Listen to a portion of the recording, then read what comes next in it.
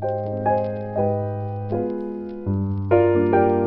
guys, Hayden here with Greenhouse. Here to talk to you guys about poinsettias, something we take a lot of pride in. We start these guys all the way back in July. A lot of hard work goes into making these a finished product, but as you can see, it's well worth the reward. Our care for these guys greatly changes based on how mature they are. We go in and space them several times, let them grow into nice full poinsettias instead of just straight up as they compete for light. Watering needs vary greatly as they become a little bit more pot bound. The big thing with poinsettias is the relationship with the length of day and length of night.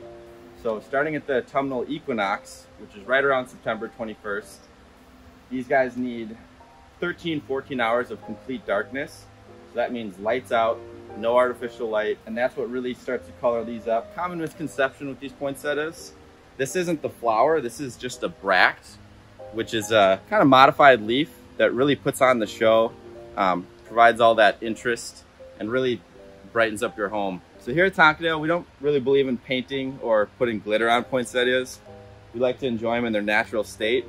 But for those of you who do like a little bit more funky of a look, uh, we do have the Superba Glitter, new variety for us for 2020.